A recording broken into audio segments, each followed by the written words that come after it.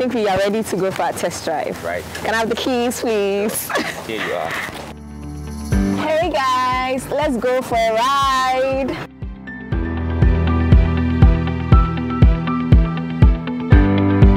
My name is Belinda Akaba Akos, an electrical engineer here at Solar Taxi.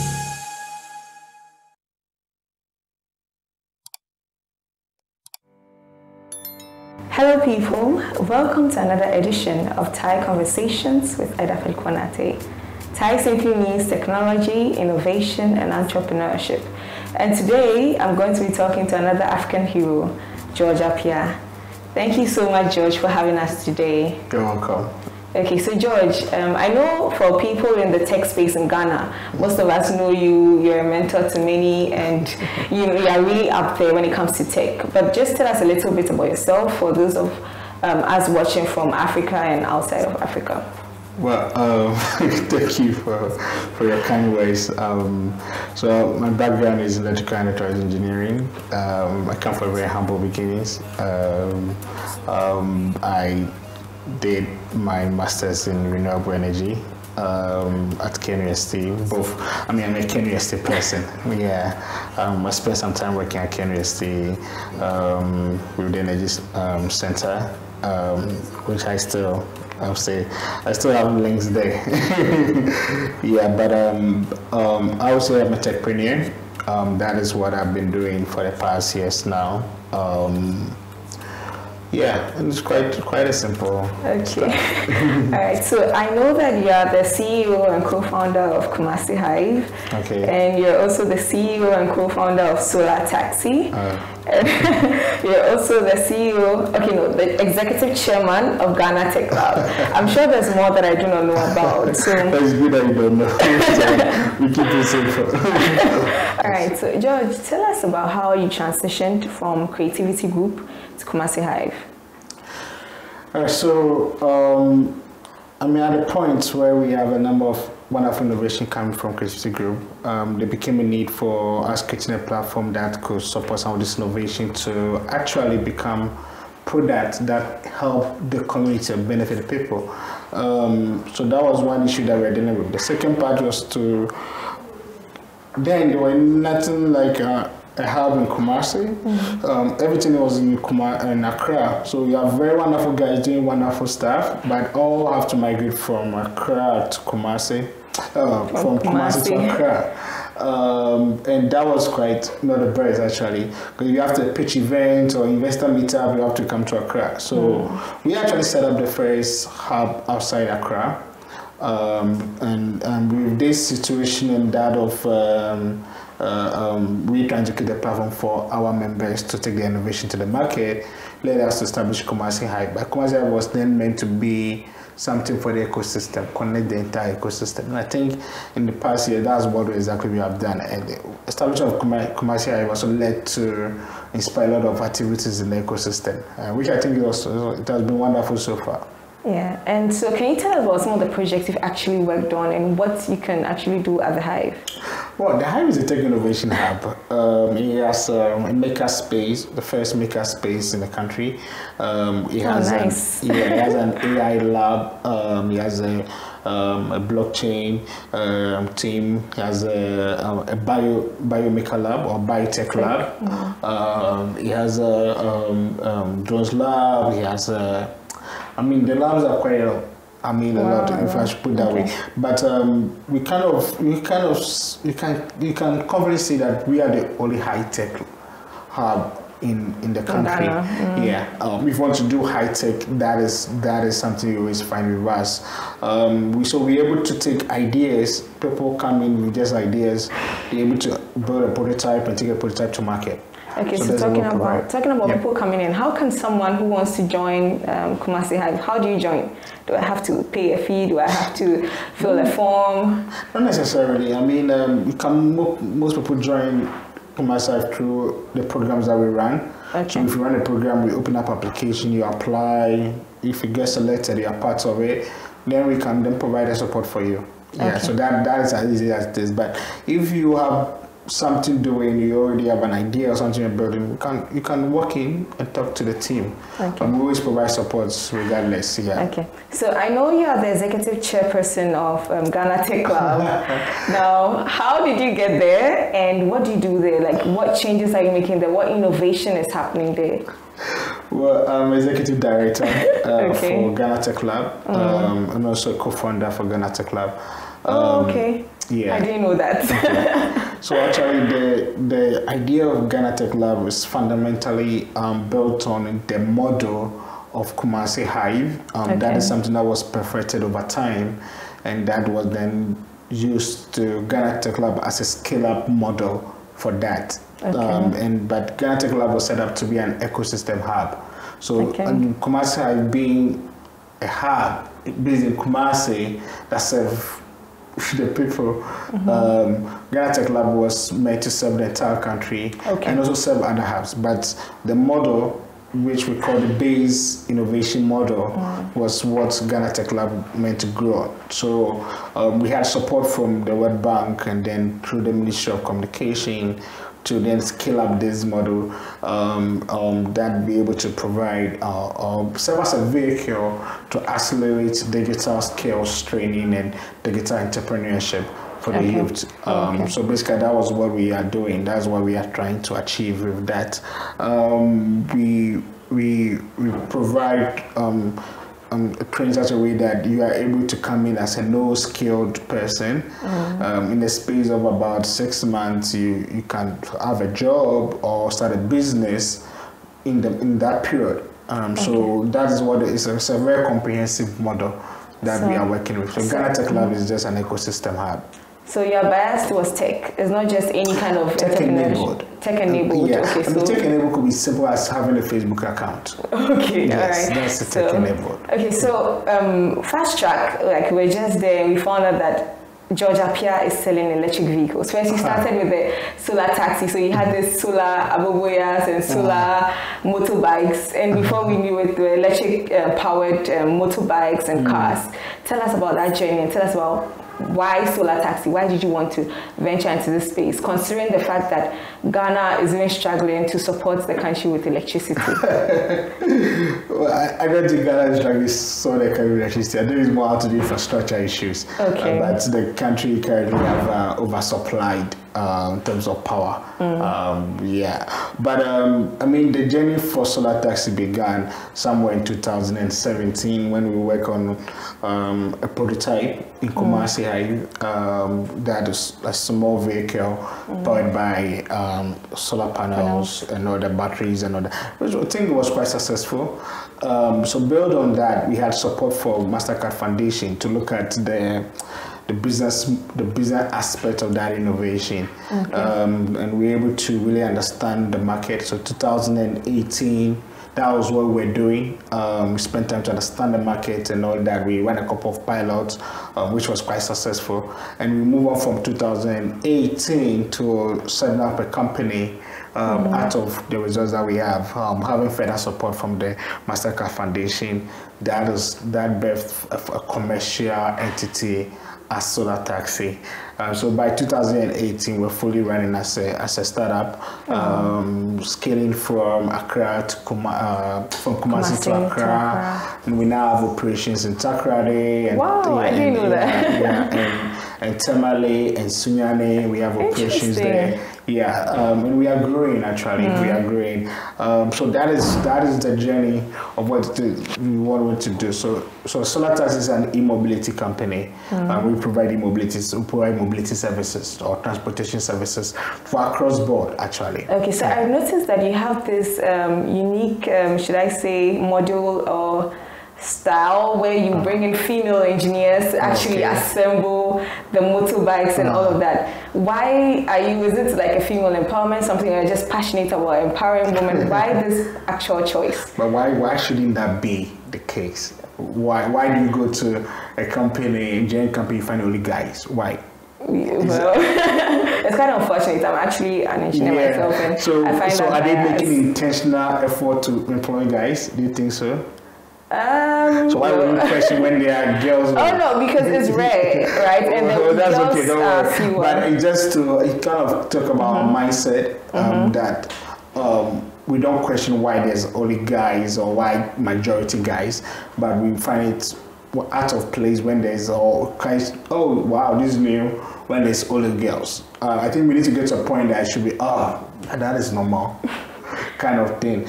Uh, but um, well, when as we we as we, we build up solar taxi, and one thing we realized from our work and research that we're doing was that the value chain of transportation, the transportation sector, right from designing to to manufacturing, assembling to to um, production to to to deployment like driving and all that. Um, women don't partake in the, the value chain. The only part we find women, women partaking is maybe just boarding the vehicle or using the vehicle. But in terms of like where these jobs are created, where the empowerment part is, and where the finan- money is there to make, women don't partake part in it, um, and to it, which is not the best. So how we, we decided to provide an equal opportunity so that women can also benefit from that. So we established the Female Engineering Academy um, Okay. that focuses on training women. Uh, You can even come in as somebody with no engineering background. We train you for you to understand and for you to be an engineer that could design and then also um, manufacture, assemble, and produce electric vehicles. Okay, so let me ask, how many cars and um, motorbikes have you assembled so far? So far, we have a fleet size of over 150 For which of them? for, for the electric bikes. For the bikes, okay. Yeah, and then for the tricycle, we have a fleet size of about seven. Um, Seven, it's For the tricycle, we design for based on needs and based on customer um, um, uh, um, specification. Okay. So if a customer comes to us, that's when we design and build the tricycle. We don't build them and put them on the shelf or build them and put them in the market until a customer comes to us. Okay, what about the motorbikes, the So the motorbikes, for that, we, we, are, we, we currently have um, um, well, orders actually. Okay. So when we, we get in the parts and all that, our based on our designs and stuff, we then build it and supply. Um, the cars, we currently have over, over 15 electric cars. For the cars, we currently don't do all the assembling. If we Okay. do any assembling, to be a bit semi knocked down. But um, we are working on um, putting up a plant um, that allows us to do the full assembling of the cars over here. But for the bikes and then the tricycle, we are doing everything fully. I, Wow, I that's believe impressive, here you get a chance to see the arc.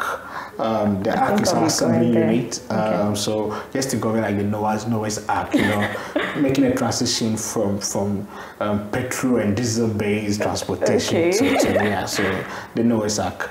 Um, so the arc is where we do all the assembling and everything. So those ones we design everything. We as we get the parts, we build them, we assemble them here.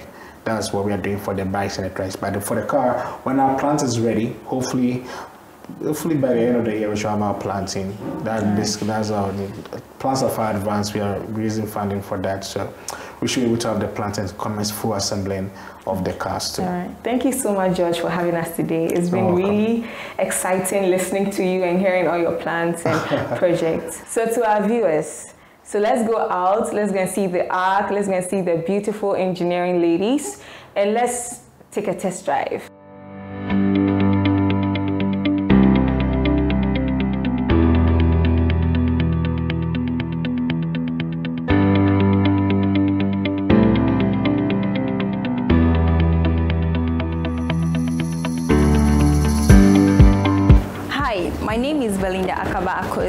An electrical engineer here at Solar Taxi. You are welcome to the ARC. Here in the ARC, we perform our assembly line, and in the assembly line, we have four main sections. That is the chassis, the accessories, the electricals, and the cover section. That's what happened here in the ARC. After that, then we have a full motorbike moving out on the streets. So here in the chassis section, it's made up of the frame, that is the whole body of the motorbike, without the electricals, without the chassis, and without the cover. It's only the metal parts with the back tie and the front tie. That's what form part of the chassis section. And moving from there, we have the accessories and the electrical section. That is made up of the headlights, the throttle lights, the throttle, the trafficator lights, the um, main cable, the motor, the ESC, and the horn. So here we have um, my colleague here, Gifty, that is taking the female engineers through the assembly line and they are on the electrical section. As you can see, they are on the electrical section. So here we have the dashboard that's made up of the accessories, the dashboard, the headlights, the, the trafficator lights, the throttle, we have our brake, we have our electronic speed controller, we have our lithium ion battery here, and the motor. All these things form part of the electricals and the accessories section. Moving from there, we have the cover. And the covering is the last part of the motorbike. The cover is the last part of the motorbike and it have the delivery box. We have the delivery box.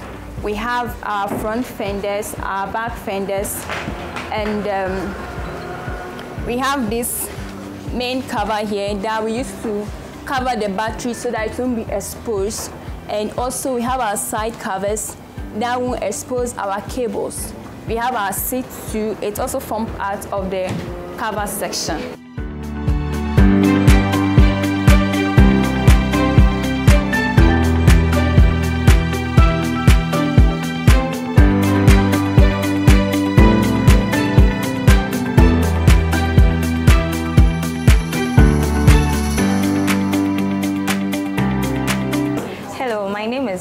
Erica Mponsankusi and I'm an electrical engineer at Solar Taxi. Working with Solar Taxi has given me the opportunity to know much about electric vehicles. I've also learned how to do assembling and then do troubleshooting and then maintenance on electric vehicles. It has also given me the opportunity to be more confident about myself in all that I do. I'm able to speak very well publicly and then it has also boosted my morale. So working with Solar Taxi is, has been a great opportunity for me and I'm glad I was given the opportunity to work here. Thank you.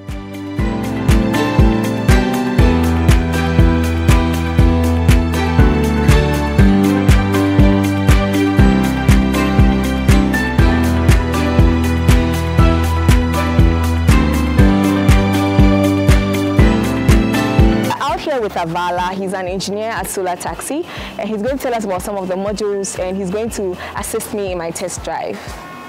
So Avala, tell us about the cars you have.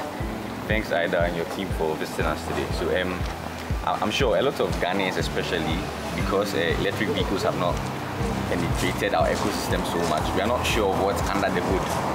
So, um, actually, uh, generally, an electric vehicle has up to 60% uh, similarity in parts Okay. to your conventional, your traditional petrol diesel car. So we have every your fuse box, your radiator, your air conditioner, your shocks, your suspension spring, everything. Generally 60% It's very similar to your petrol car or diesel car. Uh, the main difference is the powertrain or the drivetrain, which is electric instead of petrol, an engine and transmission. So there's no transmission in this electric car. There's a motor which and in this case this car is front driven so there's a motor sitting in the front axle uh, connected to the wheels and this a motor controller. So this this is more like what your accelerator is connected to. When you accelerate it converts the frequency and then supplies the the motor increases the speed and reduces.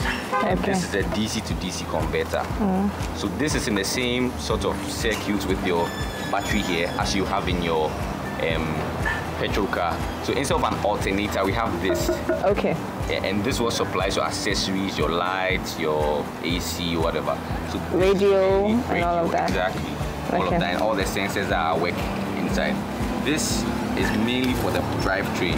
And Okay. it's in between the battery and the motor, just that. So Okay. everything else sits here.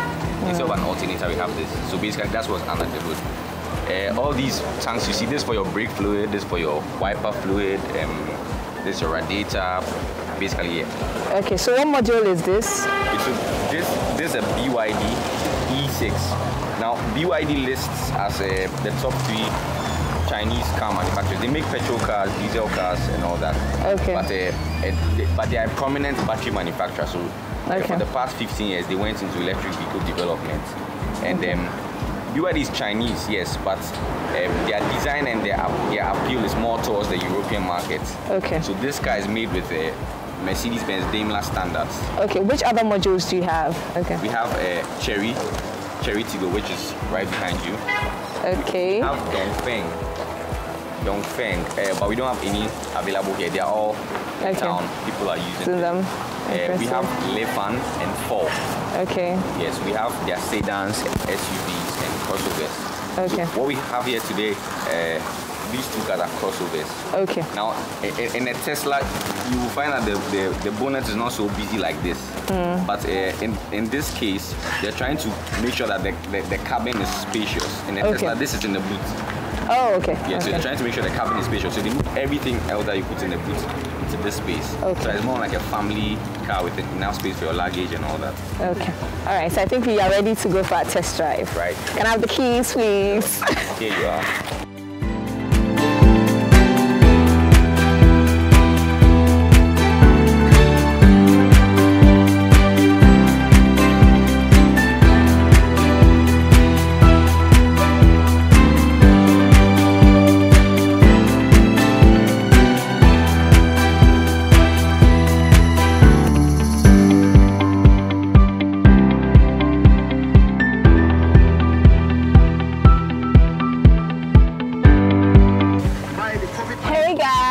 Let's go for a ride.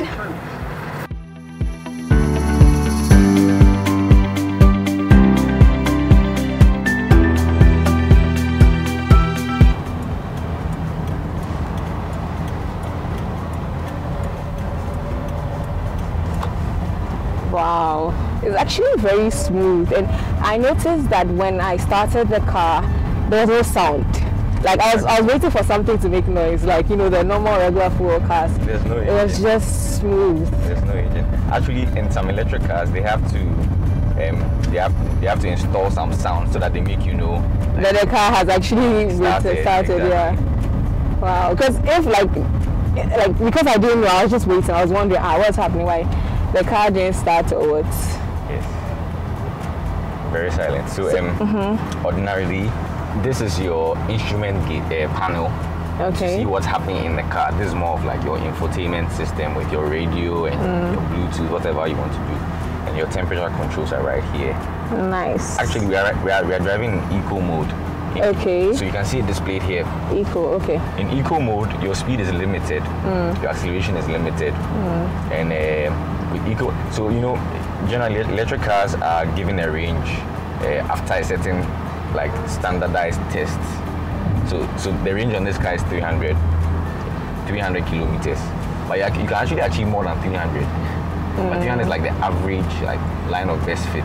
Okay. If, if you're not using your AC, you're driving slowly, you can actually do more than 300.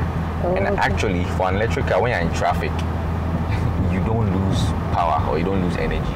Oh, okay. Yes. Unlike the uh, regular cars Exactly. use for. Because once you hit the brakes, there's a contactor that opens, and there's no, there's no, there's no power being consumed. So Okay. nothing is working. So right here, you see, you see, um, you see your consumption pattern here. When you're accelerating, you see that the arrows are yellow, and they are moving from the battery to the motor. But when you slam the brakes, they become green, and you see that it reverses from the motor into the battery. Oh, now, okay. that's what they call regenerative braking. Oh, like in electrical engineering, like drives. Exactly. Okay. it- it's, it's an electric drive system that is basically here. Oh, okay. So, um, so averagely, like how much, um, how much electricity do you need, or how much does it cost to actually fully charge an electric car like this? Okay, so um, interestingly, uh, this car has a 57 kilowatt, kilowatt hour battery, and based on ECG's uh, commercial tariff, there's residential and whatever. Based on ECG's commercial tariff, it will cost you around 40 cedis to fully charge. 40 Ghana cedis. Wow, And, and 40 cedis only. 40 cedis only. This is the real only. This is the real only, right? 40 cedis for 300 km. So, you- so you can even do the breakdown and see how much you, you, are spending on every kilometer and compare it with your petrol vehicle and you see how much you're saving. Uh, it is actually a huge percentage. And uh, at the end of the year, you see the true cost of ownership. Uh, if you had had, if you're driving a petrol car. Oh, yeah. Exactly. Because for I think you have to buy like 300 or 250, depending on your tank size. to fill your tank. So, uh, 300, so, so in this, in, in 400. exactly. So in these terms, 40 cities to in quotes fill your tank. Wow, impressive. It's nice to see um, what we learned in school, like science or theory being applied, and it's really nice to know that it's not even far from us. You know, usually you're just thinking about it in the books, on like what you see on YouTube and everything. I think about it in terms of machines, but then Exactly. seeing it being applied in a vehicle it's, I don't know, it's, it, it makes engineering real. I, I tell you. yeah, you're right. So, how's the experience been like at uh, Solar Taxi? Well, um, my experience at Solar Taxi has been a mixture of, you know, working and learning. A very, very good mixture of both of that. Uh, at Solar Taxi, uh, you don't just come to work every day. This is an emerging market. This is new, and so you'd have to do a lot of uh, uh, research, self-improvement, and all that. And um, actually, the challenges at Solar Taxi are very much quite motivating in themselves. Because Why? you know uh, the, the electric vehicle market even globally is very young. And so not everything's on the internet. So there's a lot of you know um, i say it's motivating because when you're able to solve a problem it is very rewarding. I mean it's very uh, what's, what, what's the word to use you know Worthwhile. it's very worthwhile. Yes, you you are, you are the English person. it's very worth. When, when when you figure out something, it's, it's exciting, and uh, you you are you know you are encouraged to do more. Okay. Yes. So I'm currently charging the electric car and it's been really exciting driving it. After you drive an electric car, you wouldn't feel like driving a fuel car because it's really smooth. So thank you all for joining me and thank you Solar Taxi and Avala for hosting us and George for hosting us today. It's been exciting and I'll see you all next time. Love you. Bye.